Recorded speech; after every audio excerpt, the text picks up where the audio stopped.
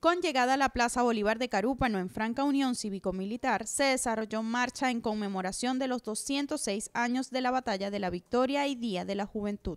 Hoy una vez más el pueblo de Carúpano demuestra pues, el civismo conjuntamente con sus Fuerzas Armadas Bolivarianas, con todos los cuerpos de seguridad del municipio, demostrando y conmemorando los 206 años de la Batalla de la Victoria y Día de la Juventud. Los jóvenes que hoy nos apoyan que son nuestra generación de relevo. Queremos darle nuestras más cordial felicitaciones en su día. La Juventud Patriota reitera la importancia de la unión cívico-militar, legado del comandante supremo de la Revolución Bolivariana, Hugo Chávez Frías, y rinde tributo al héroe joven, luchador de nuestra independencia, José Félix Rivas.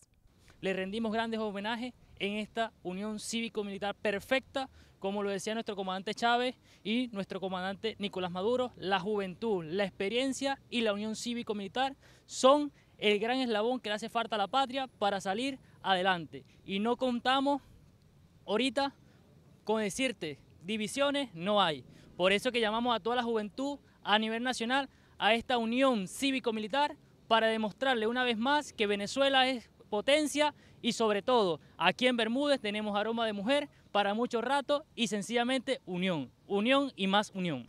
Palabra de nuestro comandante eterno Hugo Chávez, unidad, lucha, batalla y victoria. Y qué mejor que demostrarlo en esta unión cívico-militar con todos los organismos de seguridad. Enmarcada en las actividades conmemorativas de esta importante fecha, se realizaron también un maratón donde participaron estudiantes de varios planteles de la localidad y una sesión especial de la Cámara Municipal de Bermúdez. En la Cámara José Sánchez y quien reporta desde el Estado Sucre, Elena Mendoza, Óptica Nacional.